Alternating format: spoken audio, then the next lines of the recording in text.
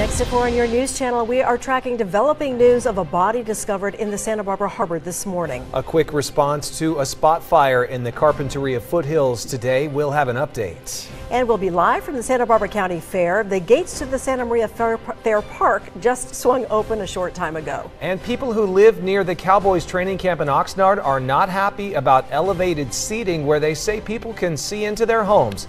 The news starts in 30 seconds. Good? Sound good? Sure, sure. The Santa Barbara County Fair is now officially underway. While local ag students have been here at the fair park since this past weekend, today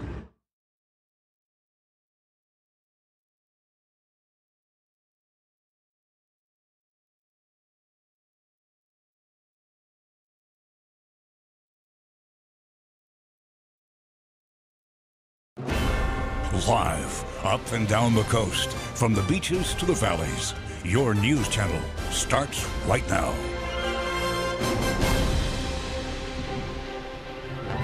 Good afternoon and thanks for joining us. I'm Scott Hennessy. And I'm Beth Farnsworth. A disturbing discovery today along Santa Barbara's waterfront. A body was found floating near the boat launch area late this morning. Harbor Patrol confirms the call came in via marine radio from a passing boater of a person needing medical attention. Witnesses tell your news channel they spotted the emergency scene before lunchtime. A crowd of police and paramedics doing CPR on someone. Yellow caution tape was quickly put up.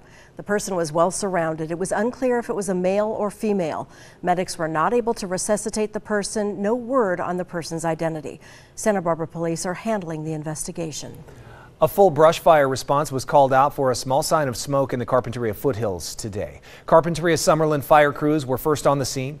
The U.S. Forest Service, Montecito, and the Santa Barbara County Fire Department also responded. The call came out about 1230. Winds were light and temperatures were mild. The first spot was about a half an acre. Two fire helicopters were very active in the area, gathering water and making quick drops. Other personnel came in on special wildland engines and backcountry vehicles. The uh, smoke with no active fire, but some active smoke burning from a black area that is near a power pole. Uh, and you also see that, that, that, the grass is burned, but it's not really taken into the heavier vegetation. And with the rains that we had, the, the humidity or the fuel moisture is very high within these plants, which is a good thing for this time of year because it, it helps slow down, slows down the uh, advancing of fire. The fire was in the foothills behind Carpinteria High School and near the Franklin Trail. No homes were threatened and no one on the trail or at the high school campus needed emergency help. Firefighters remain on the scene at this hour to make sure all the glowing embers are out. Water dropping helicopters